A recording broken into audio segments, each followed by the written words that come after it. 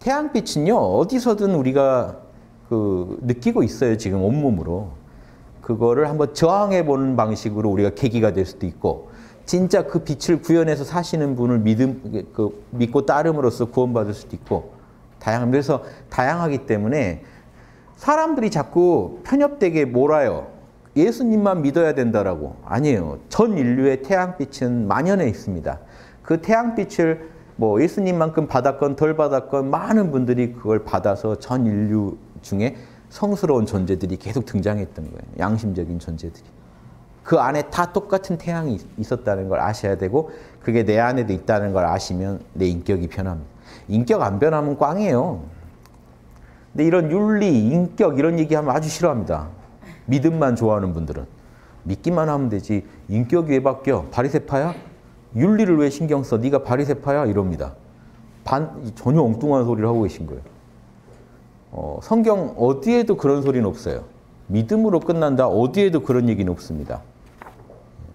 예수님부터 일관되게 행한 대로 갚으리라 해요. 하늘은. 한번 보실래요? 딱 지금 분위기에 읽으시면 딱 맞습니다.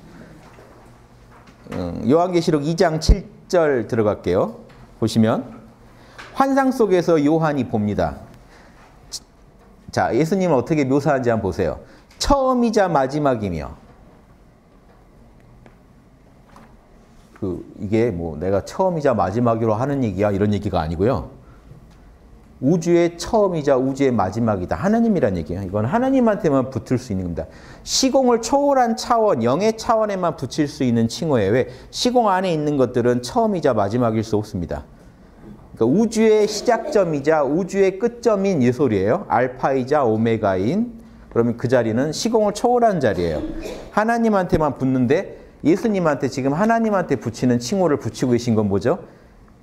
자, 그 뒤에 죽었다 살아나시는 예수님의 보세요. 역사적 예수님. 성자의 화신의 이야기를 하는 겁니다. 죽었다 살아나신.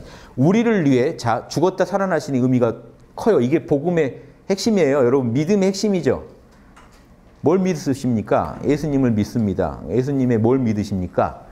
우리 죄를 사해 주시려고 돌아가셨고 그 죄를 이길 수 있다는 것을 보여주시려고 살아나셨다.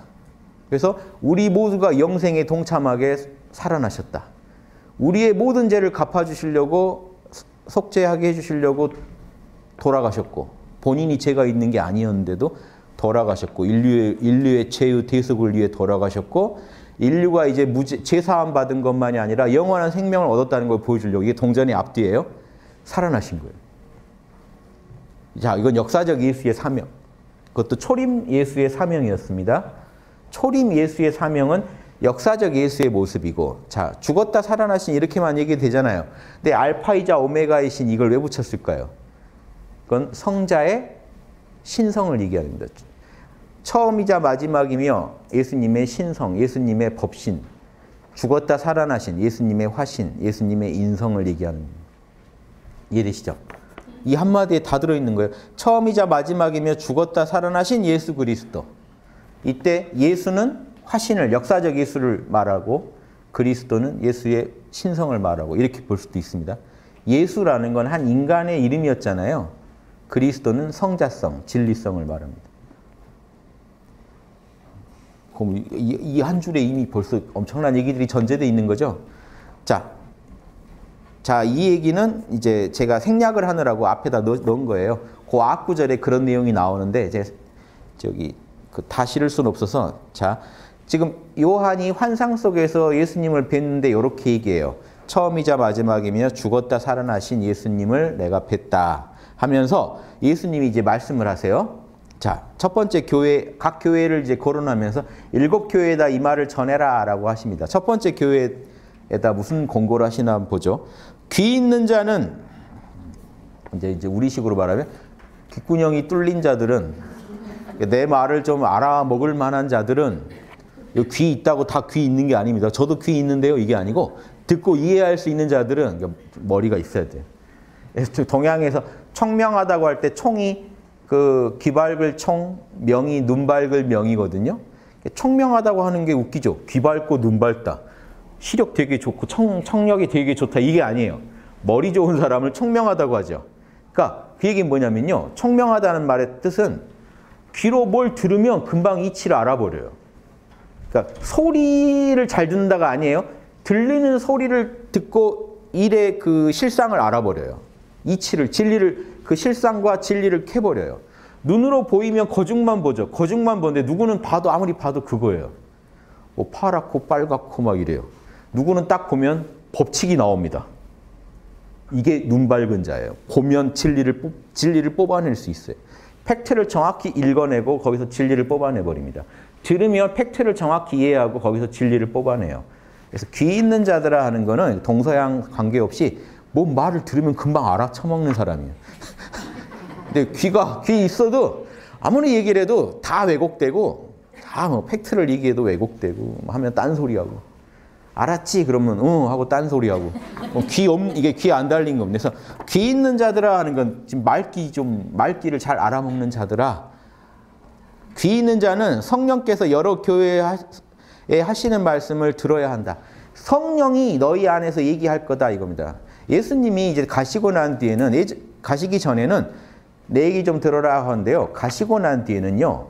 예수님이 바로 얘기할 수가 없잖아요. 이제 예수님은 안 계시니까 성령을 통해 들으라는 얘기를 이제 전제합니다. 너희들 성령이 내, 내가 하고 싶은 얘기를 성령이 너희 안에서 다 해줄 거야. 그 성령 안에 나도 이미 나의 보, 인격적인 나라기보단 나의 본질이 다 들어있죠. 성령 안에 진리가 들어있고 성령은 본래 아버지의 작용이잖아요. 아버지의 영이잖아요. 그러니까 성령이 하는 얘기를 좀 들어 이렇게 예수님이 얘기하는 거는 지금 그 제자들한테 성령 성령이 시키는 대로만 살으라고 얘기하는 게 전제돼 있는 거죠. 그 성령이 내 내가 하고 싶은 얘기를 다 해줄 거야. 그러니까 제발 성령께서 여러 교회에 하시는 말씀을 들어라. 귀 있는 자들은 좀 이해해라. 그, 그, 그러면서 이 얘기를 하세요. 승리한 자에게는, 저, 그 목사님들 얘기하실 때 보면 승리한 자를 이제 보통 이긴 자 이렇게 풀죠. 제가 승리한 자라고 풀었는데 이긴 자, 이긴 자가 됩시다. 막 교회 가면 그럽니다. 뭐 누구를 이겨야 되는지 모르지만 뭐 이긴 자 됩시다. 자, 뭘 이겼을까요? 지금 일관돼요. 어떤 게 이겼다는 거죠? 혼이 마귀의 법, 육신의 법을 따르려는 마음이 있고 한편으로는 성령의 법, 양심의 법을 따르려는 마음이 있는데 양심의 법을 따르는 마음이 이겼다는 거예요. 그게 세속의 논리, 욕심의 논리, 마귀의 논리를 물리쳤다는 겁니다. 성령의 논리, 양심의 논리가. 그래서 승리한 자라는 건요. 성령법을 따르는 자예요. 성령이 임해야 돼요, 먼저. 본인의 혼 안에 성령이 임해야 자, 아까도 말씀드렸죠. 혼 안에 성령이 안 임하면 이미 게임이 안 됩니다. 여러분, 여러분 안에서 영, 이 영은 성령이에요. 여러분 혼의 뿌리가 영이거든요. 혼의 뿌리가 영이면 혼이 자녀면 영은 뿌리입니다. 아버지예요. 성령자리입니다. 여기는. 그래서 이 영은 시공을 초월해 있어요. 이거는 성령 만나야 알 수 있습니다. 성령 만나보시면 이 영은 자 누가 저한테 넌 교회도 안 다니는데 뭐 성령이야. 성령 얘기하지 마. 그러면 성령 얘기 안 하면 돼요. 성령 얘기 안, 안 할게요. 저도 영혼은 있겠죠. 제 혼의 뿌리인 영이 있겠죠. 그 영이 I am이에요. 그런데 성경에서는 I am이 누구의 이름이죠? 유대인들한테 I am은 하나님 이름입니다. 스스로 있는 나. 스스로 있는 나가 여러분의 영이에요. 스스로 있는 나가 있으니까 혼의 작용을 합니다. I am 뒤에 붙는 게 자, 생각, 감정, 오감이 붙으면 이게 혼입니다. I am은 영이에요. I am은요, 시공을 초월해요. 왜? 저긴 그냥 스스로 있어요. 스스로 있는 나예요. 시공과 상관없이 스스로 있어요. 그 하나님 자리예요. 그래서 여러분 영이 사실은 성령이에요. 그래서 성령을 알면 영을 아는 거고요. 영을 모르면 성령도 몰라요. 그러니까 여러분 혼의 뿌리란 측면에서는 영이라고 하고 그 영이 사실은 하나님의 숨결이거든요. 그래서 영, 성령이라고 하는 거예요. 창세기에 보면 인류를 만들 때 하나님이 흙을 빚습니다. 육체를 빚어요. 흙을 빚은 다음에 하나님의 숨결을 불어넣어요. 영이에요. 그러면 살아 움직이게 됩니다. 혼이 작동을 시작해요. 그 영혼육의 이, 이 3분으로 봐야 되는 이유예요. 어, 성경 따라 어느 구절에 영이라고 돼 있지만 영혼을 말할 때도 있어요. 그러니까 꼭 3분설을 계속 가져야 될 건 아닌데 어느 경우에는 꼭 영과 혼을 분리해서 이해해야 될 때도 있어요. 어떤 경우는 그냥 영혼을 그냥 영이라고 할 때도 있고. 보시, 보시다 보면 아실 수 있어요. 문맥 속에서. 그래서 이 영혼 육 일단 3분법으로 구분을 하고 계시면 2분법으로 쓰셔도 된다. 영혼과 육의 구별로 나중에 이제 얘기할 때도 있어요. 그런데 일단 세 가지가 구분돼야 됩니다. 그래서 하나님은 영이시다라고 할 때는요. 하나님은 시공을 초월한 I am이라는 얘기를 하고 있습니다. 스스로 있는 나. 어떤 제약 조건도 안 붙었기 때문에 여기에는 그냥 존재하는 자리예요. 존재. 존재의 하느님 자리입니다. 성부가. 저 존재 안에, 저 존재의 하느님 안에 진리가 들어있더라는 거예요. 시공을 초월한 하느님 안에 시공을 초월한 진리가 들어있겠죠. 그리고 그 시공을 초월한 하느님이 성령의 작용을 통해서 우리 안에서 역사를 하고 계시다는 거 실제로 시공 안에서. 시공 안에서 역사할 때는 성령이라고 합니다. 하나님을. 하나님의 뿌리는 성부. 하나님이 시공 안에서 역사를 할 때는 성령. 그러니까 지금 모든 작용은 성령의 작용인 거예요. 그 신성이 우리 안에서 작동할 때는. 근데 그 작동할 때 설계도가 있을 거 아니에요. 그게 진리입니다. 진리의 형상대로 우주를 운영해요. 그러니까 요한복음 시작이 하나님이 말씀과 함께 계시면서 하나님이 작용을 통해서 천지 만물을 창조하신 거예요. 그 안에 거하시면서 우리한테 빛을 빛을 비춰 주시면서 우리를 살 수 있게 해 주시는 거예요. 움직이고 살아 있고 생각하고 말하고 행동할 수 있게. 요게 실상입니다. 그러니까 성령의 각성이라는 것은 사실은 인간한테 있어서 자기 영을 사실 아는 거예요. 자기 영도 모르고 사는 거예요. 지금 자기 영도 모르고 사니까 영을 따를 수가 없고요. 혼은 무조건 육에 종속돼 있는 거예요. 그러다가 이긴 자가 됐다는 건요. 자기 영을 자기 영을 찾아봤더니 알고 보니 내 영이 성령인 거예요. 하나님인 거예요. 내가 하나님의 자녀가 이 혼의 입장입니다. 하나님의 자녀라는 걸 알게 돼요. 성령을 못 만나시는 분은 절대 아빠라는 말을 아버지한테 할 수 없습니다. 실감나게 할 수 없습니다. 남들이 아빠라고 하니까 나 혼자 뭐 고아되긴 싫으니까 아빠라고 하겠죠. 아니 아버지 뵌 적은 없지만 존재하시는지도 모르지만 아버지 다들 믿으니까 나도 믿습니다 아버지. 그 저한테 섭섭하게 하지 마세요. 이런 느낌으로 접근하시는 거는 인간적으로 할 수 있는 일인데 그뭐 제약시할 건 아닌데 아버지랑 지금 소통이 안 된 거예요. 여러분 안에서 성령을 만나야 아빠라는 의미를 알게 돼요. 내가 거기에 뿌리를 받고 살고 있다는 걸 알게 돼요. 나의 본체라는 걸 알게 되면 아빠라는 말이 나옵니다. 그래서 다 그게 아빠 하나님을 아빠라고 진짜 실감나게 아실 수 있는 거는요. 그런 데서 아는 거지. 많은 분들은요. 기도가 이루어졌을 때 아빠 그럽니다.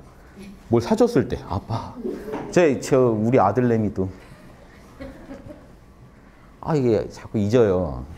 엄마만 따르지 아빠는 뭐 들고 있어야 와서 뭐 장난감이다 그러면 와서 친한 척하고 근데 이제 볼일 다 보면 갑니다. 안 옵니다. 제가 자꾸 상기시켜야 돼요. 이거 아빠가 사줬지? 아빠 다시 또 서로 껴안고 부질없죠. 근데 껴안으면서도 부질없죠. 그거는 뭘 흔들어야만 오는 관계잖아요. 이게. 그러니까 이게 교회를 그런 식으로 우리가 신앙을 교회에 가서 신앙해 버리면 영 소통이 안 돼요. 아버지, 뭐 기도가 이루어질 때만 아버지 하고 그 외에는 뭐 나를 사랑 안 하는 것 같으니까 아빠란 말이 안 나온다니까요. 그런데 지금 살아 숨쉬는 것도 아버지 덕인 줄 알면요, 이 순간 순간이 다 감사하고 기쁠 수밖에 없어요. 아버지를 아버지는 시공이 없는 자리입니다. 거기는 근심 걱정이 없는 자리예요. 세상이 주는 평안을 초월한 자리예요. 아버지를 지금 만나는 순간 내가 내 육신과 내 혼은 괴로운 처지에 있어도 기쁨이고요. 그냥 감사해요. 이, 런 상황을 경험할 수 있게 해주신 것만도 감사가 나와야 돼요. 그 안에 성령을 못 만나면 이 감사가 안 나와요. 억지로 하는 거지. 감사합니다. 뭐가 속으로 그래요. 아버지 감사합니다. 뭐가 자기 스스로 자꾸 부정 모순에 빠져요. 아파 죽겠는데 감사 병 낫는다니까 감사 감사해야 병 난다니까 하고 있는 거예요. 아버지 감사합니다. 어떻게 병 좀 나았나? 아버지 감사합니다. 감사합니다. 근데 아, 아, 감사가 안 나오죠 사실은. 아프게 하시질 말지. 아버지 감사합니다. 이게 계속 에고의 소리는요. 계속 모순에 빠져 있습니다. 감사합니다. 한테 사실 생각해보면 감사하지가 않아요. 나를 왜 이렇게 위기에 시험에 빠뜨렸습니까? 감사합니다. 감사합니다. 근데 그러면 사도 바울이 늘 감사라는 거는 헛소리일까요? 상상 속에서 나온 소리인가요? 아니에요. I am에 감사하는 겁니다. 내가 생각하고 말하고 행동할 수 있는 모든 거는 있어서예요. 이 존재가 있었어요. 그 존재에 끝없는 감사를 해야 됩니다. 알면 감사가 그냥 나와요. 왜냐 지금 존재할 수 있는 게 그 자리 덕인데요. 그 아, 버지 덕인데요. 제가 여기서 눈이라도 굴릴 수 있는 건 아버지 덕입니다. 그냥 이게 다 감사예요. 감사합니다 말 안 해도 감사라고요. 이미 마음이 깨어 있으면 알아요. 성령과 함께 있으면 알아요. 근데 떨어져 있으면 말로 감사를 떨어져 있는데 하려고 하면 안 나옵니다. 억지로 하고 있는 거예요. 그냥 나한테 유리하다니까 하고 있는 거예요. 육신의 법으로 이로워서 하고 있는 거예요. 혹시 그러면 더 득이나 볼까 해서 하고 있는 거예요. 아버지한테 벌 받기 싫어서. 벌 받기 싫어서. 혹시 상 줄까봐 하고 있는 건요. 도덕의 최하 단계입니다. 콜버그 도덕 이론의 최하 단계가 그 유치원 수준의 그 단계가 상, 벌 받기 싫어서 또 도덕 지키고 상 받고 싶어서 도덕 지키고 하는 게 최하 단계입니다. 최상의 단계가 뭔지 아세요? 양심이 시켜서 하는 단계가 최상의 단계. 그냥 과학, 적 학문 이론에서도 당연한 거예요. 그거는. 그러니까 지금 종교에서는 최상의 단계를 바로 구현하게 해주는 게 종교의 맛이죠. 왜? 과학은 못 해줘요. 그 콜버그도 도덕 이론에서 양심으로 할 때 진짜 도덕이다는 얘기를 주장했다가 비판받았어요. 인류 중에 소수나 하는 거를 왜 이론에 넣냐고. 이거 황당한 거죠. 지금 우리 사회 수준입니다, 이게. 그 밑단계가 공익이라서 하는 거예요. 그러니까 이로워서 하는 단계가 그나마도 모두에게 이로워서 하는 단계가 현재 인류가 도달할 수 있는 최상의 단계입니다. 그게 결국 바리세파의 단계예요. 그게 모두에게 이롭지 않냐라는 주장 정도가. 양심이 시키지 않냐, 하느님이 시키지 않냐는 말은요. 그걸 실존적으로 할 수 있는 사람은 극소수라는 인류 중에. 근데 그거를 바로 추구하는 게 종교라니까요. 과학은 그걸 해줄 수가 없으니까 사람들이 이런 결을 보이더라. 이런 사람도 있더라라는 얘기까지밖에 못 해줘요. 과학은. 학문은. 종교는요. 철학은요. 바로 들어가서 곧장 양심에 따라 살아야 하나님 자녀다라고 얘기해요. 지금 학문에서는 인류 중에 소수가 도달하더라는 얘기를 종교에서는 모두가 그걸 누려야 그 구원받는 거다라고 시작해버리니까 하나님 자녀다라고 어, 이게 그 학문과 이 종교, 그 과학과 철학의 차이입니다. 요거 분명히 아셔야 돼요. 그래서 영 바로 성령 받아라 이게 모든 학문을 뛰어넘는 얘기예요. 그냥 성령 받아라. 그러니까 불교에서 아무리 교학을 많이 알고 화엄경 둘둘 외고 해도요 인정 못 받습니다. 견성 못하면. 그러니까 불교는 견성이 시작이죠. 불성을 못 받다 그럼 부처 아닌 거예요. 자 성령을 못 받았다 성도 아닌 거예요. 성령 받았다고 가장을 하고 계세요. 믿고 있으세요. 제가 만나서 성령 언제 받으셨어요? 아득한 10년 전인가? 뭐, 그럼 10년간 못, 못 뵀던 거죠. 그때 한번 뵀고. 그때도 어렴풋하게 뵀지 성령을 정확히 설명해 보세요 하면 못 합니다. 예, 그러니까 성령 만나야 성령이 우리한테 가르쳐줘요. 진리로 가르쳐줘요. 그래서 승리한 자는 성령 안에 거해 살면서 성령의 법이 육신의 법을 따르는 것보다 이제 더 그 사람 삶에서 중심이 됐을 때 승리한 자라고 하는 겁니다. 사실은 이 승리한 자도 완벽한 승리는요. 모든 일에서 성령법이 51% 이상 돼야 돼요. 그건 사실 힘들어요. 예수님 경지나 돼요. 예수님은 됩니다. 예수님 얘기하셨죠. 나는 모든 말과 행동이 성령의 뜻대로 한다. 요게 사실은 진짜 승리한 자고요. 근데 그 윤회론도 없고요. 그러니까 다음 생도 기약하지 않고 한 생을 사는데 예수님 수준의 승리를 요구하면 사실은 불가능하거든요. 그러니까 여기서 보통 말하는 승리한 자는요. 성령의 불만 여러분 안에 안 꺼져서 그 사도 바울이 사도 바울의 경지도 그랬단 말이에요. 육신의 법과 성령의 법이 싸우는 정도까지만 가도 여러분 승리하십니다. 그렇죠? 성령의 법이 내 안에 확실히 있다는 걸 알고 성령의 법에 법을 따르려는 마음이 여러분 안에 확실히 자리 잡으면요. 그러면 사실은 승리하신 거예요. 그러니까 그 기독교식 논리로 이미 천국인데 아직 천국은 안 왔다는 것처럼 이미 승리는 하셨는데 완연한 승리는 아직 아닌 거지 이미 승리는 하신 겁니다. 그러니까 완, 완연한 영생은 영적인 부활체까지 생겨야 되는데 성령만 만나도 영생 얻었다고 하는 거는 이제 이미 이미 영생을 얻었다. 성령을 만났으면. 그러니까 이미 승리했다는 거예요. 완연한 승리는 사실은 사도 바울이 말하는 그리스도 경지까지 가야 됩니다. 그런데 지금 여기서는 그 정도를 얘기하는 건 아니고요. 요한계시록에서 축구하는 거는 사람이 한 생을 열심히 닦았을 때 도달할 수 있는 정도를 가지고 얘기하거든요. 그러니까 갑자기 예수님 수준의 걸 말하는 건 아니고 사도 바울이 말한 정도예요. 항상 기뻐하고 감사하면서 성령의 불이 안 꺼지고 하나님 법을 읽어낼 수 있는 정도. 늘 분별력을 가지고 선을 추구하고 악을 멀리할 정도. 그 정도면 승리했다고 보는 거예요. 그건 승리의 토대는 갖춘 거예요, 사실은. 지금 이제 그 아마게돈이 그 사람 내면에서 펼쳐지겠죠. 하지만 승리의 토대는 구축됐다는 거죠. 성령법을 확실히 알았고 성령법 안에 안주했으면 승리의 토대는 갖춰졌다라고 말할 수 있습니다. 그래서 불교식으로 말하면 승리한 자 그러면 원래는 한 일지보살 돼야 돼요. 그 일주보살과 일지보살 차이는요. 불교 용어를 써서 그렇지만 우리 혼 안에 영이 24시간 안 사라지면 일주보살입니다. 그런데 이, 이 우리 성령 안에 있는 이그 아, 우리 우리 안에 있는 성령이 사랑의 진리를 갖고 있, 즉 어떤 성령법 을이 거기 새겨져 있는지까지 알아내면 요게 이제 불교에서는 일지보살 이상이에요. 여기는 이제 일주보살. 그 바둑으로 제가 하면 1급이면 여기 1단이에요. 그 정도 차이가 있습니다. 성령의 불이 안 꺼진다는 것도 이미 승리의 토대긴 해요. 사실 여기서부터 승리자라고 할 수 있습니다. 성령 24시간 이제 여러분 안에 존재하면 하나님 자녀는 맞거든요. 그러니까 성경에서 제가 말한 하나님 자녀는 여기서부터예요. 그 전에 24시간 아니고 잠깐 체험한 분들이 있죠. 그것도 이제 체험을 하신 건데 진짜 하나님 자녀다 하려면은 사실은 24시간 성령의 불이 안 꺼져야 된다고 나오니까 말하고 성령을 체험하는 건 이제 더 먼저입니다. 뭐 1초만 체험해도 체험은 체험이니까. 여기서부터 시작은 돼요. 성령을 만나기 시작하고 성령이 내 안에 거주하고 자 이건 성령에 안주하는 단계고 여기는요. 성령 안에 있는 진리에 안주하는 단계까지 가야 사실은 진짜 승리자. 왜? 저 때부터는 그 성령법이라는 게 선명히 알아요. 하나님의 뜻이 뭔지 선명히 알아요. 하나님 뜻은 아직 모르고 성령과 함께하는 그 체험에 안주한 분도 많아요. 지금 이 요거 가지고 교회에서 겪으신 경지를 분석해 보면 다 아실 수 있어요. 근데 더 안 된 거는 성 이런 1초 체험 있는 이게 잠깐의 체험은 있는데 체험이 왜곡돼 있는 경우들이 되게 위험해요. 방언을 통해서만 성령을 체험한다든가, 그러니까 어떤 막 노래를 틀어놓고 막 뛰어야만 체험이 된다든가 이런 체험들은 체험을 돕긴 하는데 성령 체험이 왜곡돼 있어요. 그러니까 성, 정확히 성령이 뭔지를 모르는 거예요.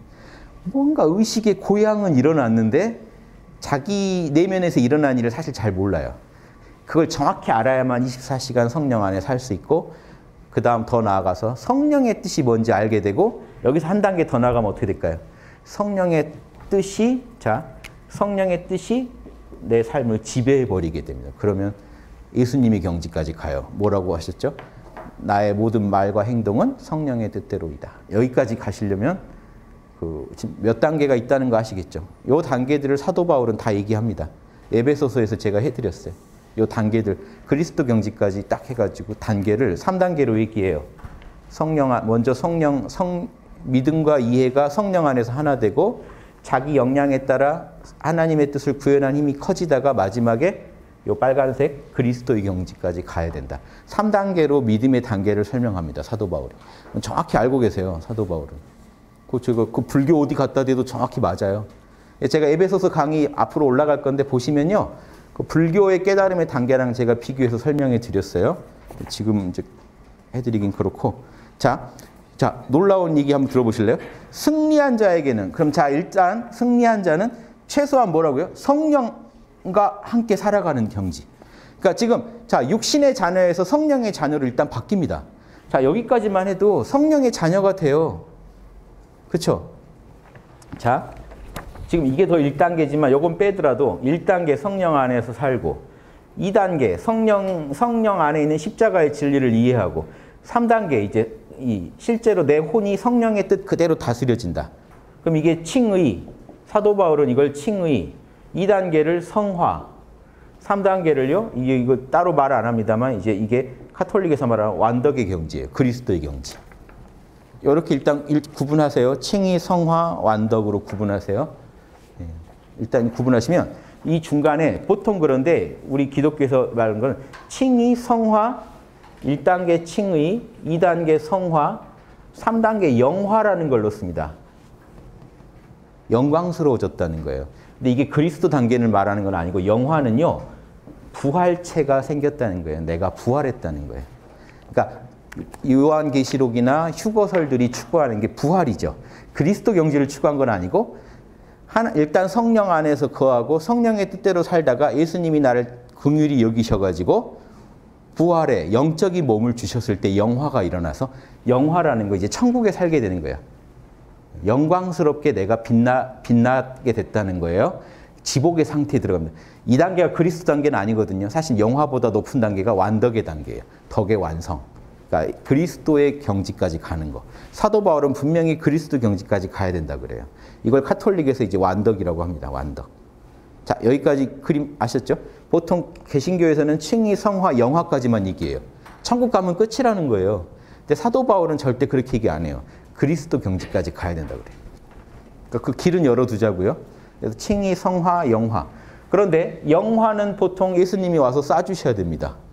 그래서 사도 바울한테 강조되는 건 칭의와 성화를 열심히 하면서 하나님 그리스도의 그리스도의 자비인 거죠. 영화는 그리스도의 자비를 기다리자는 거. 이게 사도들의 기본적인 사상이에요. 예수님은 안 그래요. 예수님은 칭, 칭이라 불리는 단계, 성화라 불리는 단계를 넘어선 스스로 이미 스스로 부활해 버려요. 스스로 변화산에서 영화의 모습을 보여줘요. 그러니까 본인이 본인한테 그 쏠 건 아니잖아요. 그러니까 예수님은 이미 스스로 그걸 다 성취해서 보여줍니다. 그러니까 예수님을 진짜 닮으시려면 지금 여기 살아서 부활체까지 얻으실 수도 있는 길이 있다는 거예요. 근데 사도들은 그 얘기를 안 하는데 어디 나오냐 이게 도마복음에 나옵니다. 그래서 도마복음이 좀 이단적인 거예요. 위험한 책인 거예요. 스스로 부활체를 이루라는 내용이 나와요. 심지어 예수님이 뭔 얘기하냐면 그렇게 스스로 거듭나지 않으면 천국에 갈 수 없다고 나와요. 그러니까 다른 사도들은 예수님이 와서 쏴준다고 그랬는데 재림 때 와서 쏴준다고 그랬는데 그러니까 우리는 열심히 한 생에 성화까지 가서 노력하다가 죽, 죽으면 돼요. 그러니까 성령 안에 거하면서 자기 역량껏 최선을 다해 성령법을 따르다가 고군분투하다가 죽으면 돼요. 절대 마귀의 법에 굴복되지 않고 죽기만 하면 장렬하게 죽고 가면 꼭 순교가 아니더라도 죽는 날까지 양심이 승리하도록 돕다가 가면 예수님이 나중에 오셨을 때 다 부활시킨 다음에 성령법대로 따르던 사람들은 영화를 이루게 해주고 나머지는 지옥 보내고 끝나요. 스토리가. 사도들은 그렇게 믿었는데 도마복음은 스스로 영화를 못 이뤄내면 천국에 못 간다고 얘기를 해버리는 거예요. 요게 일단 안 맞습니다. 그 사도들 입장에서 못 받아들일 내용이에요. 도마복음엔 그게 나와요. 그게 제일 충격적으로 다른 부분이. 그래서 그, 그냥 제가 차이만 말씀드릴게요. 예, 그래서 영, 자 여기서 벌써 이게 다 나와요. 이, 이 한 구절에 요한계시의 핵심이 다 들어 있습니다. 예수님에 대한 뭐 그 기본 정의랑 그 예수님 어떤 존재인지에 대한 정의랑 자 보세요. 우리 안에서 성령이 얘기를 해준다는 거랑 승리한 자, 성령 안에 거하는 자, 하나님 자녀가 된 자에게는 자 그렇게 이 승리한 자는 이거죠. 지금 예수님 말씀해 보면 하나 이 성령 안에 거하면서 성화의 노력을 하는 자, 성화의 노력을 하고 있는 자는 하나님 낙원에 있는 생명의 열매를 먹게 하겠다. 요 생명의 열매가 도마복음에서는 이게 영적 그 영적인 몸을 만들어내는 비밀로 나옵니다만 여기서도 똑같이 똑같습니다. 심지어 그러니까 도마복음이랑 사실 이어져요. 이거를 도마복음에서는 스스로 쟁취해야 되는 걸로 나오는데 여기서는 차이가 예수님이 쏴주겠다는 거예요. 너희들 성령의 뜻을 따르면 성령 안에 거하면서 늘 항상 깨어서 성령의 뜻을 따르면 그 성령 안에 거하면서 성령의 뜻, 성령법, 즉 진리를 실천하려고 노력하면 내가 그 나중에 그 재림해서 그 생명의 나무, 생명나무의 열매를 먹게 해주겠다. 영생을 얻게 해주겠다. 지금 인류는 현재 선악과까지 먹었어요. 아이템이 선악과예요, 현재. 인류 전체가 선악과는요. 선악을 따질 수만 있지 선을 할 수 있는 힘은 없습니다. 그게 율법 시대의 상징이에요. 선악과는. 생명, 예수님의 핵심은 뭐겠어요? 생명의 나무의 열매를 줍니다. 생명의 나무의 열매를 먹으면 어떻게 될까요? 영생을 해요.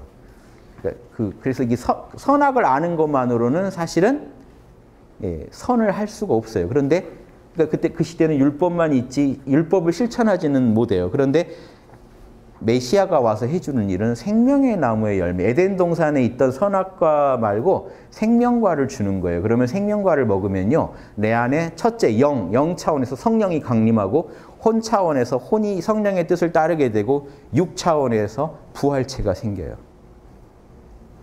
그 그걸 상징하는 겁니다. 생명의 나무 열매를 먹게 하게, 먹게 해주겠다는 것은 그 영생 영생 얻게 해줄게 이거 영적인 몸을 만들어서 이 육신으로 영원히 가는 게 아니라 이제 삼위라는 육신이 말고 영적인 육신을 내가 줄게 이거예요.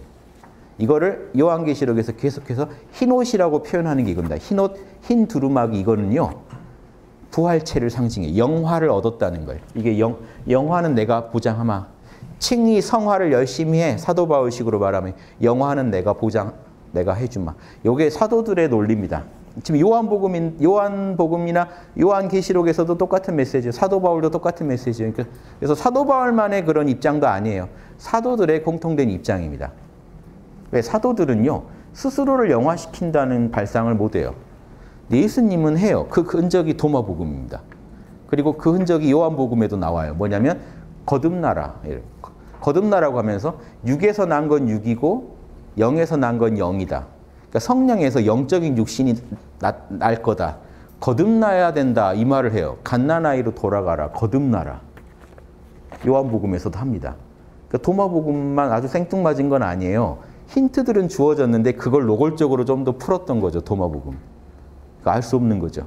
저는 예수님은 그래서 육적인 영화의 비밀까지 얘기해 주셨다고 봅니다. 제 입장이. 제 추측이에요. 다만 사도들은 그걸 못 받아 잘 모르거나 못 받아들였기 때문에 사도들이 주장하는 건 영혼의 성화고 영의 각성, 혼의 성화 그리고 육의 그 이런 부활은 예수님의 재림을 기다리자라는 논리가 나옵니다. 사도들의 입장과 예수님 입장이 달라요. 왜? 실제로 예수님은 변화산 사건에서 스스로 영적인 몸으로 변해버리세요. 흰옷 입고 등, 그때 흰옷이 등장해요. 예수님이 흰옷 입은 존재로 딱 나타납니다. 다른 빛나는 육체를 가지고. 그때 이제 제자들이 보고 놀래서 모세와 엘리야랑 셋이서 그렇게 빛나는 몸으로 계시는 걸 보고는 놀래는데 이 얘기를 해요. 내가 나중에 다시 부활하기 전까지 이 얘기는 어디 가서 하지 마라. 딱 막어요. 예. 사람들한테 부활을 보여주기 전까지 따로 얘기하지 마라. 즉, 근데 많은 사람들은 그래서 예수님이 죽었다 돌아가 다시 살아오시면서 부활했다고 생각하는데 그 변화산 사건을 아신다면 예수님은 이미 그 전에 부활하신 거예요. 영적으로도 완성되셨던 거예요. 이것까지 아셔야 돼요. 그래서 예수님 입장과 사도들 입장은 다르다. 사도들은 일단 예수님의 자비를 기다릴 수밖에 없습니다. 그래서 모든 사도들이 다 똑같은 말이에요. 열심히 성령의 뜻대로 살면서 예수님의 그 자비를 기다리자. 이게 기본 입장이고 요한계시록도 마찬가지입니다. 그래서 예수님이 내가 해줄게 이렇게 얘기하시는 내가 쏴줄게. 두 번째 교회 한번 보실래요? 귀 있는 자는 성령께서 여러 교회 하시는 말씀을 들어야 한다. 본인 얘기시잖아요. 근데 왜 자꾸 성령을 들먹이시냐면 지금 이 얘기는 이 예수님과의 만남은 요한이 환상으로 보고 있는 거고 구체적 메시지는 어딜 통해서 갈 거라고요? 성령을 통해서 다 가고 있잖아 이거죠 지금 따로 나를 안 만나도 성령이 지금 너희들 안에서 얘기하고 있을 텐데 내가 꼭 얘기해야겠냐 지금 이런 느낌으로 들으시면 좋겠어요. 이미 얘기하고 있잖아 이거예요. 성령 성령이 그대들 영혼 안에서 얘기하고 있잖아. 승리한 자는 결코 둘째 사망의 화를 입지 않을 것이다. 여기서 둘째 사망이라는 건요. 여러분 다 죽으면 첫째 사망이죠. 근데 안타깝게 여러분 돌아가셔도요. 부하 그 재림 예수님이 재림하셔서 요한계시록에 나온 아마게돈이 끝날 시점에 가면요. 예수님이 딱 다 부활시킵니다. 죄인이고 뭐 선인이고 다 부활시켜요. 죽은 사람은 다 부활시켜요. 그래서 여러분 갑자기 부활되는 거죠. 무지? 무덤에 있다가 갑자기 부활돼서 나왔더니 한다는 게 거기 성령 뜻대로 살았는가? 그래서 이제 신과 함께가 갑자기 펼쳐지는 거죠. 갑자기 죽었다 부활해서 이게 그 요한계시록의 기본 스토리입니다. 그 그래서 성령 뜻대로 살았는가? 천국 새 예루살렘 입성 허락. 성령의 뜻을 어겼는가? 마귀의 법을 따랐는가? 육신의 법을 따랐는가? 지옥불로 직행. 그게 둘째 사망이에요. 영원한 벌을 받아요. 부활했다가 또 죽는 거예요. 한쪽은 부활해서 천국 가고요. 한쪽은 부활했다가 왜왜 왜 이래? 그, 어, 저승에서 불려 나온 거죠. 그래서 저, 저 음부 지옥에서도 다 토해내게 돼 있어요. 그날이 되면 싹 토해내요. 바다에 죽은 사람 바다에서 다 토해내요. 다 토해내서 모아놓고 최종 심판이 이루어집니다. 이제 이게 유대인들의 믿음이었어요. 인류를 한번 끝내 끝 끝장 한번 봐야 된다는. 왜냐 억울하잖아요. 예수 예수님 믿은 건 아니라 이제 구약 때부터 하나님 믿고 진리를 수호하다가 성령의 뜻을 따르다 죽은 사람이 있고 욕심의 뜻을 따르다 죽은 사람이 있죠. 언젠가 한 번은 계산 결산해야 된다는 입장이 있어요. 유대인들은 언젠가 한번 결산해서 성령의 뜻 따르다 죽은 사람은 천국 보내주고 승리한 자는 그 마귀한테 진 자는 영원한 벌 받는 거 한번 봐야겠다는 그 유대인들의 믿음이 이 구약의 그 믿음들이 예언들이 신약에 와서 좀 더 세련된 방식으로 표현된 겁니다. 이제 이스라엘인에만 좀 국한하던 거를 폭을 넓히고 이제 그 내용도 성령의 뜻을 따르는 자, 구원받는 자에 대한 메시지가 좀 더 분명해지고 그 다음 이제 그런데 그 내용들은 그대로 와요. 영생과 영벌이라 이걸 영벌이라 그래요. 영원한 벌이 있고 실제로 영원하냐는 또 달라요. 왜냐하면 또 하나님이 또 구제해 주려고 하시겠죠. 그런데 일단은 아무튼 그 한쪽은 영원한 생명을 얻고 그 반대 개념으로 한쪽은 영원한 그 지옥불을 체험해요. 그래서 영생 영벌 그럽니다. 그래서 둘째 사망 그러면요. 부활했다가 다시 유황불에 던져지는 그 사건입니다. 근데 왜 가능성은 있다고 보냐면요. 이런 유황불에 던져진 짐승들도 천년 후에 또 다시 살아나온다 이런 말이 있거든요. 그러니까 이게 말은 안 되고 있지만 뭔가 변화 가능성은 있습니다.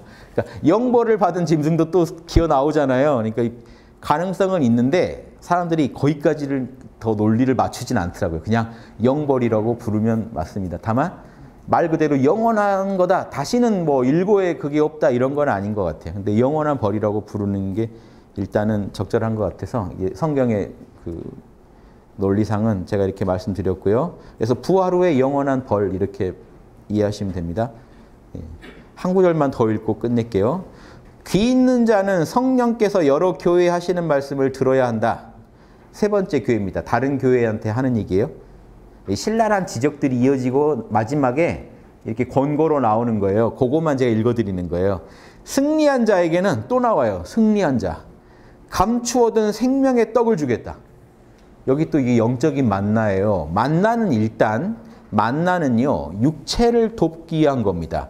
그러니까 모세 때 하늘에서 만나를 줘서 이스라엘인들이 먹고 살아요. 그날 하루하루 먹을 양이 내려와서 살았죠. 근데 그거는요 썩어 썩어 없어질 몸을 위한 거였죠. 그럼 이 내가 생명의 떡을 주겠다는 건요 사실은 부활체를 상징합니다. 그걸 먹으면 영생을 얻는 그 떡을 말해요. 그래서 생명의 떡을 주겠고 또 흰 돌도 주겠다. 이건 승리한 자의 증표입니다.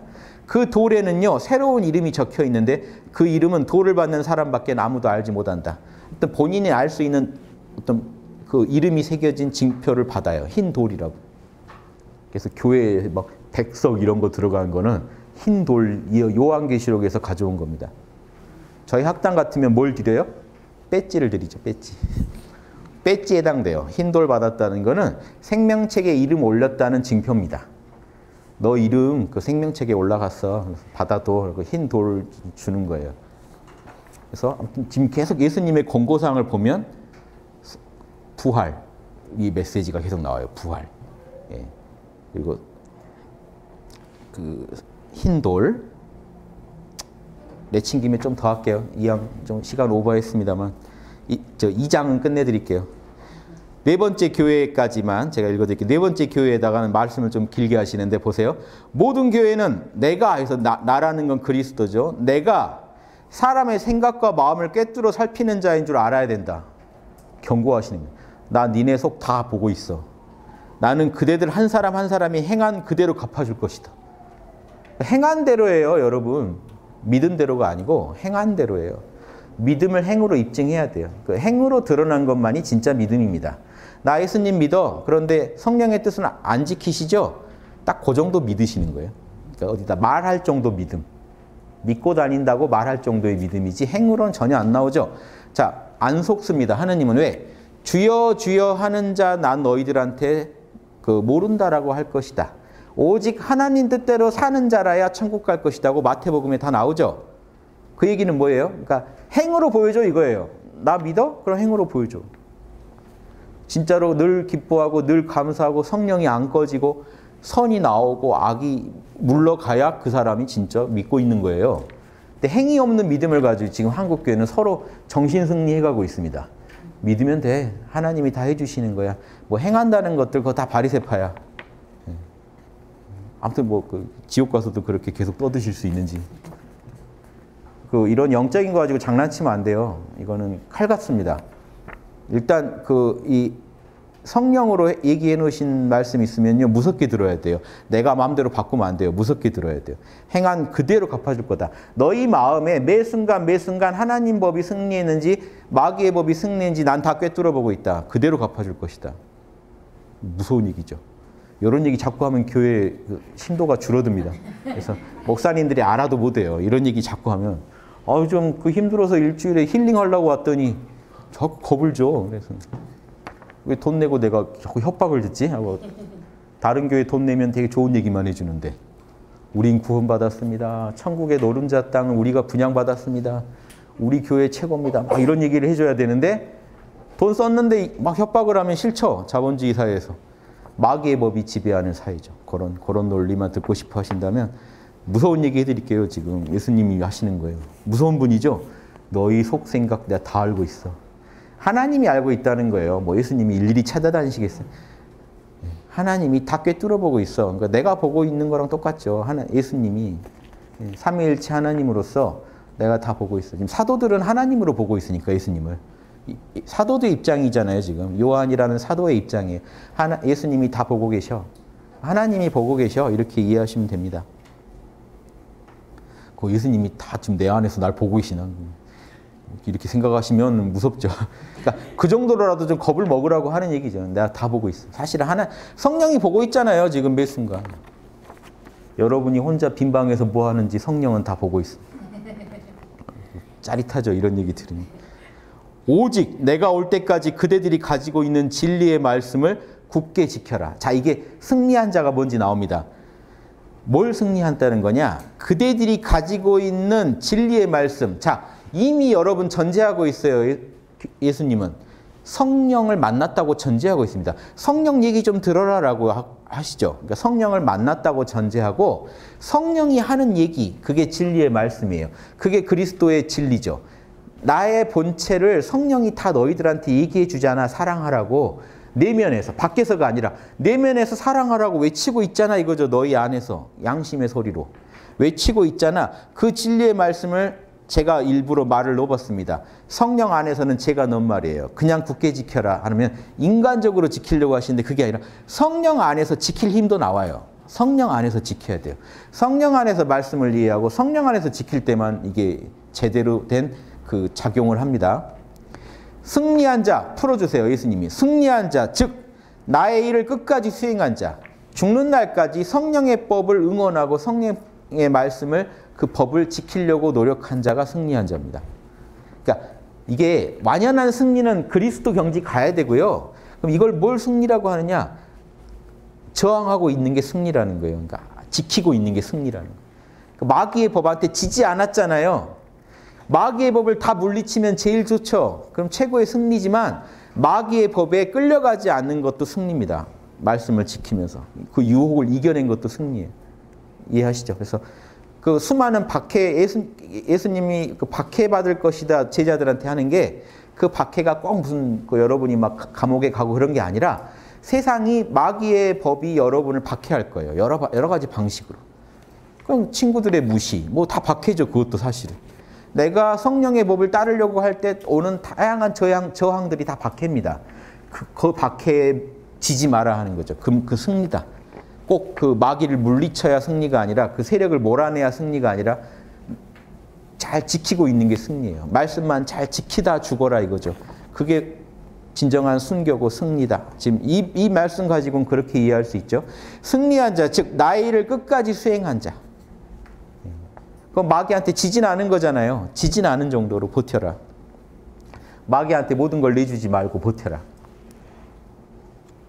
자, 그러려면 이렇게 버티려면 성령이 우리 안에 24시간 깨어 있어야 살아 있어야죠. 성령의 불이 꺼지면 안 되고 늘 분별력을 가지고 이게 성령의 법이 맞는지 아닌지 늘 따져봐야죠.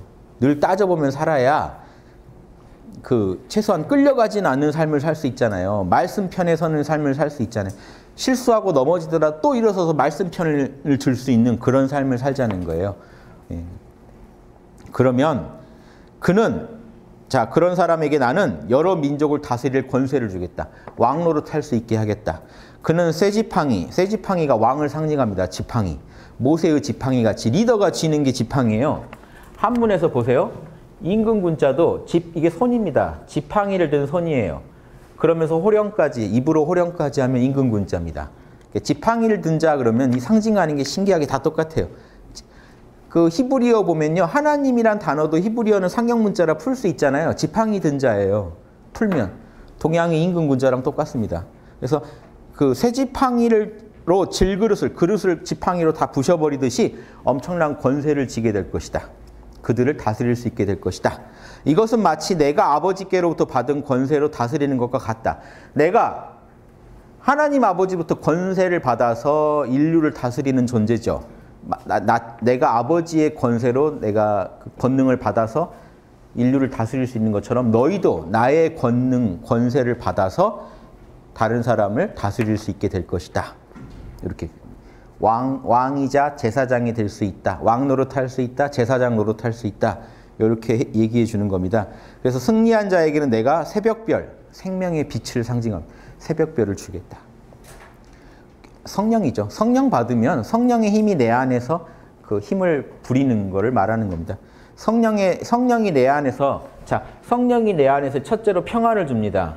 두 번째는요 성령의 뜻으로 사랑을 실천하라고 외칩니다. 그래서 그 사랑을 실천하게 되면 실천한 만큼 여러분들은 성화가 일어나고 실천 실천했을 때 승리한 자가 될 수 있고 하나님이 그런 자들한테는 이제 예수님이 구체적으로 예수님이 그런 자들한테는 영화를 영화를 얻어서 천국에 살게 해주겠다라고 보장해준 그 여기 기본 스토리예요 요한계시록에 귀 있는 자들은 성령께서 하시는 말씀을 잘 들어라. 자 교회에다 하시는 말씀이 이게 성도 공동체에다 하는 얘기입니다. 꼭 건물을 말하는 게 아니에요. 성도 공동체들한테 성령이 요구하고 있다. 지금 이 순간 승리하라고 하나님 법을 따르다가 죽으라고 어느 박해도 이겨내라고 그러면 천국에 거하게 해주겠다고 성령법이 다스리는 세상에 살게 해주겠다고 보장한다. 그러니까 너희들은 최선을 다해서 깨어서 성령의 뜻대로 살아라. 죽는 순간까지. 이기 우린 계속 지겠죠. 사도 바울도 지는데 사도 바울도 지죠. 육신의 법이 더 강할 때 있다는 얘기잖아요. 그럼 너무 힘들다고 고백하실 때는 육신의 법이 더 치고 나올 때가 있단 말이에요. 그런데 사도 바울이 왜 승리한 자죠? 성령의 법을 절대 놓지 못하잖아요. 놓지 못하는 것만 해도 여러분 일단 승리한 겁니다. 지금 그렇게 많은 걸 요구하시는 건 아니에요. 내 수준으로 하라는 얘기는 안, 안 하시잖아요. 말씀만 굳게 지켜봐라 한번. 그럼 그거는요, 이 불교로 치면 일주보살이면 할 수 있습니다. 일찍까지 안 가도 일주보살만 돼도 성령 안에 살잖아요. 성령 안에 살면서 성령의 뜻에 맞는 자명한 걸 하려고 노력하는 단계예요.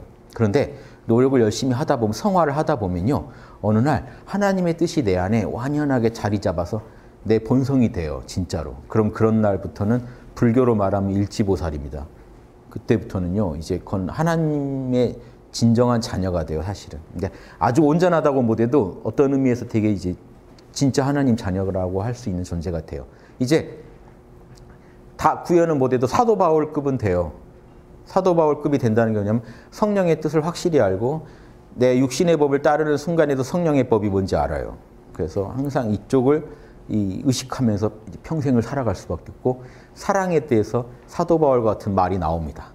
사랑은 온유하고 인내하고 뭐 오래 참고 겸손하며 진리를 좋아하고 정의를 사랑하고 이제 성실하고 이 얘기가 쫙 나갑니다. 그게 성령의 열매가 아홉 가지 열매가 있고 그게 나오면 어떤 것도 이겨낼 수 있고 이런 말들이 이제 술술술 자기 체험에서 나오게 되는 경지가 불교로 말하면 일지보살 이상이에요. 불교로 말하면 육바라밀이 내 자기 안에 있다는 걸 선명히 알아버리고 육바라밀이 자기 본성이 되는 경지가 일지보살 이상이거든요. 일지보살 이상은 육바라밀이 본성이 되지는 않는데요. 불성이 자기 본성이 돼요. 그래서 그 세상을 초월한 평안을 누립니다. 일, 일주 이상만 되면. 일지 이상이 되면 보살로 거듭나요. 열애의 집안의 자녀가 돼요. 신기하게 똑같아서 제가 비교해 드리는 거예요. 기독교도 성령 안에서 먼저 성령 뿌리 안 꺼지고 그 다음에 선을 열심히 추구하고 악을 멀리하다 보면 어느 날 자기 본성이 하나님 형상이랑 똑같다는 걸 알게 돼요. 그 체험이 옳으려면 칭의 단계로는 안 되고요. 성화의 노력이 필요해요. 그래서 칭의를 얻고 성화를 해 나가는 중에 성화를 해 나가는 중에 사실은 이제 그런 변화들이 일어납니다. 성령법이 분명해지고. 그러니까 열심히 아무리 깨어 있어도 열심히 선악을 분석하고 선악 선을 실천하고 악을 안 하려고 끝없이 하나님을 도와서 노력하다가 여러분 성화를 성화가 깊어져 가는 거죠. 자기 역량에 맞게 칭이 나는 진짜 일반인들은요. 이게 문제입니다. 교회 가서 24시간 성령 안에 사는 것도 아닌데 칭이라고 쉽게 인정해요. 나 세례 받았으면 칭의 이제 나 무죄 무죄 선언 받았어라고 주장하시고 그 다음부터 성령의 법대로 사는 게 아니라 진짜 내 자기 뜻대로 살아요. 왜 구원 받았거든요. 최악이지 않으세요? 지금 성경에 사지 말한 거 다 한 거예요 지금. 그래놓고 지금 기다립니다. 성경 보시면서 구원받을 천국 갈 그날 아 천국에 어디 막 강남 땅을 사놨을까? 천국에 어디에 자기가 분양받았는지 모르니까 막 설레면서 카타로그 뒤지듯이 성경 뒤지면서 그 달콤한 얘기들만 읽어요. 와, 성경 성령 거기 가면 막 뭐 사자랑 염소가 뒹군다고 장난 아니겠는데 한번 봐야겠다. 뭐 독사 독사에다 손을 입어놓 독사 아가리에다 손을 넣어도 안 문다고 꼭 해봐야지. 혼자 막 들떠계시는 그 기독교랑 아무 상관이 없습니다. 성경이랑 아무 상관이 없습니다. 성경은요 성령 안에 거하면서 성령의 뜻대로 내 혼을 하나씩 바꿔가고 육을 바꿔가는 그런 수행이에요. 엄청난 수행의 단계들이에요. 그리고 그 행한 만큼 수행한 만큼 하늘이 반드시 갚아주겠다는 그 종교적 가르침입니다. 이것만 명심하시면요 한국 교회 지금 제가 막 망해라고 얘기하는 게 아니에요. 지금 이미 한국 교회는 편의점보다 많습니다. 그러면 거기 계신 분들이 성경 다 한 권씩 갖고 있잖아요. 거기에 나온 메시지만 읽어내면 우리나라는 천국이 될 거라는 희망의 메시지예요. 지금 막 일부러 천국을 거부하고 계시는 것 같은데 성경 예수만 믿으면 이게 지금 교회 다닌 분한테 할 말이 아닌데 예수님 말씀과 예수님 말씀도 거창하다. 사도들의 말만 믿어도 우린 천국 지금 이 대한민국은 그대로 천국이 될 거예요. 대한 천국이 될 거라는 제 주장. 그 희망에 저도 불타오르니까 하는 얘기예요. 지금 망하라고 하는 얘기면 우린 절망이죠. 끝난 건데 아마게돈의 승, 이 승리의 선봉에 설 수 있다니까요, 우리가. 물적 토대는 갖췄다니까요. 근데 영적 토대가 부실해요. 일단 성령 알아야 영적 토대가 생기거든요. 성령에 대해서 통일된 의견이 없다. 성령 안에 산다는 게 뭔지 모른다. 성령은 모르, 성령 만나려면 일단 음악을 틀어야 된다. 막, 막 밴드를 부르고 막 감정 잡고 이래야 성령을 만난다. 그럼 이거는 아주 아쉬운 만남이에요. 뭔가 불완전한 소통입니다. 진정한 소통은 성령을 만나는 순간 여러분은 거룩해져요. 여러분이 놀래게 돼 있어요. 왜 내 안에서 이런 거룩함이 나오지? 왜 내 본성이 거룩해졌지? 욕심과 분노와 이런 어리석음이 나의 본성이었는데 왜 내 본성이 갑자기 사랑과 정의가 됐지? 이 정도의 실전적 변화가 안 오신다 그러면 아직 지금 성령하고 그 친한 관계가 아니세요. 한 1초 만나고 헤어지고 막 이런 관계. 성령의 막 여러분 다른 걸 보고 사랑하고 성령을 사랑하는 게 아니라 막 성령이 주는 그런 부귀 영화를 보고 사랑하고 계신. 진짜 성령을 사랑하실 수 있게 될때 성령의 법의 승리를 이끌 수 있는 여러분이 그 승리한 자가 되실 수 있습니다. 그래서 승리한 자가 한 분이라도 더 나오신다면 제 강의를 듣고 저는 밥값 한 거니까 이렇게 열변을 토하고 있는 겁니다. 예, 마치겠습니다.